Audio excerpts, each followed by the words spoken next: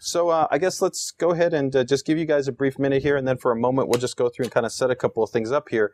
But to give you guys a little bit of context on what you're doing here is, um, so this board is very similar to like our deluxe. We've got Wi-Fi equipped it on here. It's actually dual band, but um, we're going to be essentially doing a media stream directly from this system to this notebook.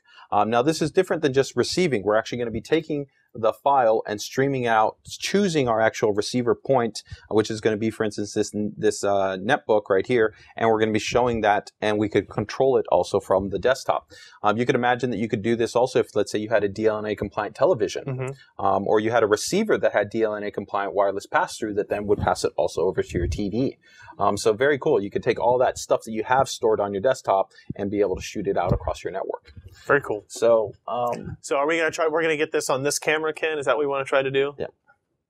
Or I mean, we can just pick it up and show it as well. Yeah, so yeah, yeah. Rotate it around. yeah, no no worries. They're gonna ask for after we get done with this. They want to ask about that new Xonar card that you gave away too. Oh yeah, yeah, yeah, yeah. Yeah, that. what was the model? Uh, yeah, we uh, yes, there, there's going to actually be two. There's a couple of actually brand new Xonar cards that are coming out. We just launched our Xonar Essence One, which I think you guys checked out at CES. It was Yep. really high end USB DAC. That's awesome. We've got an upcoming Xonar Thunder FX. Uh, we have the Xonar Phoebus, which is the first ROG sound card uh, that we're releasing, and then we also have uh, the Xonar DGX and DSX. Okay. Um, and those are very similar to the DX and to the DG that are very been on the market, except that they're um, PCIe versions with some slight updates. Okay. them. Yeah.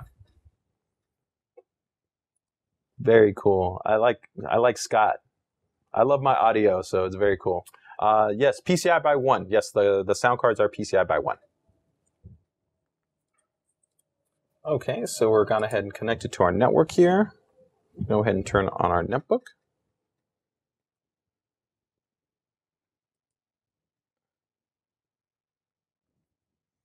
There are several aspects of Wi-Fi Go, though. Correct. Correct. Um, yeah, we'll uh, we'll actually show. Uh, we won't cover all of them, but if we were to actually go into the Wi-Fi Go suite, um, there's a lot of different functions that we have. We're going to predominantly just focus, I think, on a couple of quick ones, such as I think the DLNA Media Hub and the file transfer. I think are pretty cool. But we do have some other functions that are also available. So um, definitely for you guys that are users out there, I'd love to really hear your feedback. Um, always feel free to definitely drop them. I, I definitely take actually time to take a look through the posted comments on Ryan's reviews for our products, as well as in the forums. But you guys can always head over to our Facebook and Twitter pages also and, and leave us comments there too, which I, I actively check out. So here we've got uh, Wi-Fi Go. I don't know what is causing that, but uh, let's go ahead and use the magnifier too. Oh, yep. Yeah, no problem. No problem. Get to the magnifier. It's out here too. Oh, right. Yeah. Sorry. okay, so here we're at the desktop. We're going to go ahead and we've got our netbook here. Maybe I can turn it around once it's open there. Yeah, I can. Uh, Just, just set it in the middle of the table. I might have to zoom that out though. Yeah. Well, it kind of works. We'll get the point across there. Oh, are you talking about the front shot or the overhead? Because we can do the overhead too. Okay.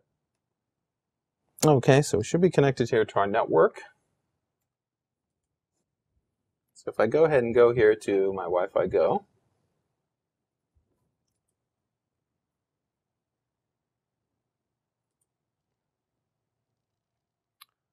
I can uh, go ahead and select my receiver, which it sees right here. This is my Asus PC. So Okay. I'm just going to go ahead and select that. So do you have to install some software on this? No, because uh, the receiver, as long as it has DNA compliance, it will see it as a DLNA device. So Okay. here, uh, Windows uh, Windows Media Player has DNA compliance built into it. Okay. So the operating system All right. inherently has it. So if you run Windows 7, even if you didn't install anything, you already have that built in. Okay. Uh, but let's say if you had like um, an Apple device, like a um, a tablet, like an iPad, I guess, uh, you would have the you would have to install our our software that we make available in their App Store Mhm. because there's no built-in DLNA support in Gotcha. iOS. Um, same thing if you had like a transformer, you could do the same thing, but once again, there's no built-in DLNA into that OS, so you'd have to download our, our software. Okay, so we're just going to go ahead and select it. Once we select it, we could go ahead and let's say uh, pick pick any one of the videos here. It's referencing our My Documents libraries. So we have music, we have video, and we have photos. available to us. Clonk wants to know uh, if it's an issue that he lives in Australia. You know what? Normally it would be, but I like you, Clonk, so I'm still going to go ahead and ship it all the way to Australia just for you.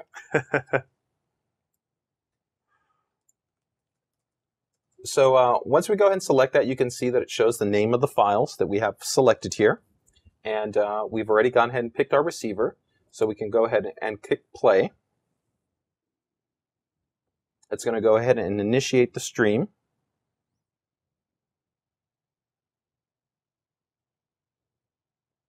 and we are we're using you can use can use any router with this as long as it is DLNA it supports DLNA pass through. That's correct. As long as it supports DLNA pass through. So you can see right now we're streaming uh, this video. this is a trailer for a movie JJ is very excited about. Yeah, yeah, JJ is very excited about that. um, so we can see right here that it's now streaming real time and we have control. So if I actually, let's say I wanted to go ahead and make a volume adjustment right here, I can go ahead and make a volume adjustment. Huh. So you heard the volume actually go down, right? So we can make that adjustment. I can stop it. You can see it just stopped. And we've now stopped that. Um, and we can even make it actually more interesting where you can, if you install, let's say, the application to your phone, I can initiate the control from here to then my other device. So from your phone, you can tell your computer to send a video to, To the the laptop, right, because- or to a TV, or Right. to whatever DLNA. because here I've got a big old. I mean, well, I don't have a huge amount of storage here. I've got this really nice high speed RunCore uh, mSATA SSD, right? Mhm. But on a normal system, I might have like a two terabyte hard drive, right? So I've got tons of storage. On my phone, it would be effective to keep all that stuff on here, but maybe I want to still initiate the control. One of the other items that we have right here on this uh, screen interface, if we go back to the magnifier, is going to be uh, file transfer, uh, which is pretty cool. So uh, let me see if I can go ahead and connect to this. But it, essentially, what this allows you to do is normally, right? I think that when you've wanted, always wanted to kind of, let's say, transfer files um, to other other devices in the past, right? Even through Bluetooth, you have to like pair a lot of things, or you have to connect a cable. Um, you know, connecting a cable definitely isn't bad. It's fast, it's efficient, it works, but you've got to make sure a connection. With things being wireless, we've wanted to try to do things to make it a little bit more flexible. So what we now have the option to do is, if let's say we have a file that we want to send to a different device under the Wi-Fi Go suite, we can actually right-click on it and as long as you have that software installed on the device that you're look you, you the uh, with excuse me with the software package, you can go ahead and go right click send to, and you can see here on the screen how it actually shows like uh, the last item I tried to do it with and sent files to was my Transformer Prime that I had connected, um, and so that's really nice because you don't actually have to uh, do any type of pairing or any type of complicated setup. All you're going to have to do is essentially just have this uh, be linked in terms of that, and then I could right click this and send that file to it. So very simple. Huh. So it's a very nice option, you That's know, cool. like if you have like a, you know, a, a tablet or phone or something like that, and you don't want to have to go through the whole pairing or, you know, syncing process, but you just want to send over maybe some new photos, some new music, some new videos. And all you have to do is just What technology is that feature using? um, that feature is it's it's based off of an underlying support in the wireless controller called Wi-Fi Direct. But since not all controllers support it, we're actually using some special protocol point-to-point transmission. Okay. Um, so that is some some ASUS secret sauce, as let's say. um, the cool part is is that with the software client actually installed on both systems, we can go back and forth. So I could actually just as easily right-click the file here and send to the desktop and go that way, or I can go the other way. now, somebody uh, is asking in here, can you do that through the Ethernet ports? Like if you connect this PC directly to this to the wireless router, can you use do the same functionality if you're not necessarily using the Wi-Fi of the Wi-Fi Go on the motherboard? Oh, okay, okay. I understand what you're saying. Um, yeah, not in the current software package. I think that in, in that type of situation that uh, we're trying to enable, I guess, an ecosystem where the devices don't need to be required more so. Because Mhm. if usually you're making a connection, you've already got that device connected to the Right. network, right? Um, but you know that's definitely a good point and something that you know I, I'm sure we can pass over to our team to think about. You know, trying to add network-centric devices that are already physically connected as becoming a right-click send to option too. Yeah. Yeah, very Okay. cool. Um, any other questions that we got there? I've, I've kind of been watching them and hitting them up as we go, so Okay. I, I think we might be good there. Cool. Um, so, So I think that that gives us, you know, a cool little overview of some of the stuff that we're doing there. that's like I said, that's uh, it's, it's only part of it. We're going to go through some more stuff. We're going to do some overclocking. We're going to do some uh, yeah. some of the other connectivity options and things like that. Maybe talk a little bit about this board uh, that we've not allowed to talk about live yet. Um, but we want to thank everybody for joining in the live stream. We had a lot of fun.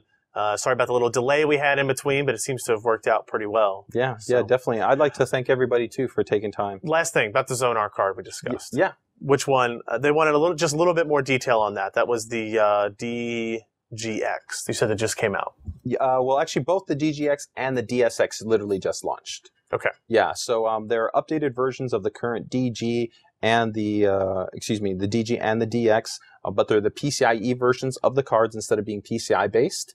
Um, we've made an update to full 192K support for both of those. Okay. Um, with an update to the ASIO driver of 2.2 compliance and um, some slight changes to some of the actual operating, uh, uh, excuse me, uh, the controllers on there, such as the the DAC and uh, the op amp amplifier. So um, all, improvements, though, definitely awesome cards, especially the DG, um, which is really kind of the proponent at value. You know, uh, a lot of people think to get much better quality, I think it's they have to buy like a much higher end sound card. DG, a lot of times you can get between like twenty or thirty bucks, and it's it's a really great investment. Cool. I think.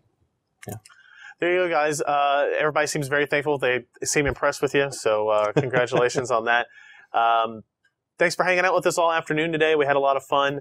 Uh, we're going to do more of these types of events throughout the months to come. So make sure you uh, check out pcper.com all the time. We've always going to have a, a schedule on the right hand side of our site there. It shows you what upcoming events we have live. We always do our podcast live, always do this week Computer Hardware Live. And uh, we did a GTX 680 event with NVIDIA, one Z77 event with ASUS, and uh, we'll have more of this stuff planned in the not very distant future. So make sure you're always checking out PC Perspective for that. I want to thank you guys again for, for coming out. Uh, thank JJ for your time and for Thank you. giving away some cool stuff to everybody. Not everybody, but to some people. Yeah, yeah. To, to the good. guys that were in the know. Yeah, exactly. So uh, we are going to cancel the stream from here. We might replay it. We might do something. I don't know. We'll see. But uh, thank you guys again. And if you have any questions, you can email me directly, ryan at pcper.com. Uh, you can follow me on Twitter or, or you can look at our facebook.com slash pcper page. There's all kinds of ways uh, to get a hold of us. So thanks a lot, guys. And uh, make sure you ch- check out the upcoming Z77 reviews at Yeah. pcper.com. Definitely. Thank you again, guys. Be sure to check out pcper.com for more reviews and information on everything PC hardware.